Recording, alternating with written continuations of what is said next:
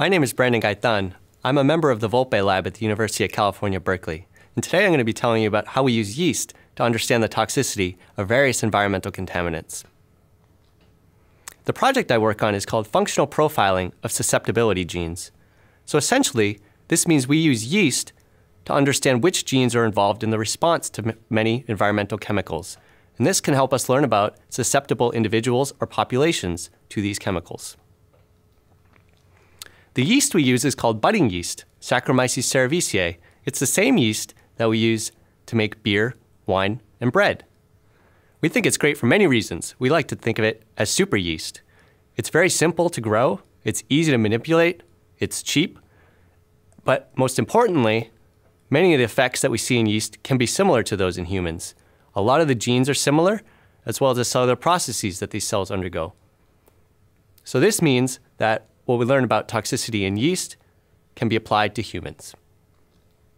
I'm going to tell you a story today about dieldrin, one of the chemicals that I look at. Dieldrin is a pesticide that was heavily used in the 1950s through 80s. The problem with it is that it doesn't break down in the environment, it persists in the environment. So it contaminates sediment, groundwater, wildlife, and humans. Not a whole lot is known about the toxicity of dieldrin, but it has been linked to Alzheimer's disease, Parkinson's disease, disruption of hormones, and cancer. So, in order to study these processes that dieldrin might affect, we use yeast. The method we use relies upon a collection of deletion mutants. So here I'm showing you four, but in reality we have about 5,000. So each of these mutants is missing a specific gene.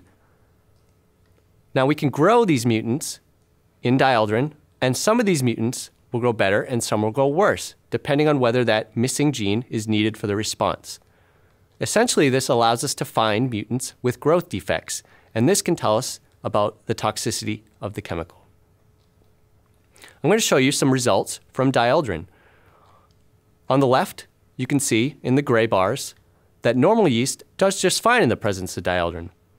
But this mutant on the right, BAP2, does not grow well at all. This mutant is missing an amino acid transporter. It transports nutrients into the cell.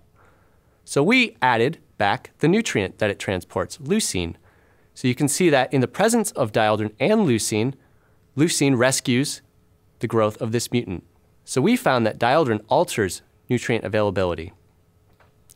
And we hope that this can inform studies in human cells.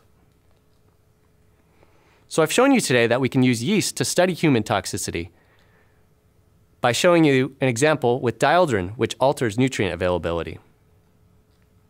In the future, we'll be using robotics to study the toxicity of other environmental chemicals.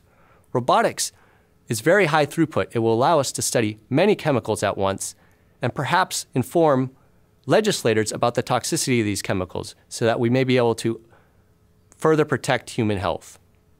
Thank you.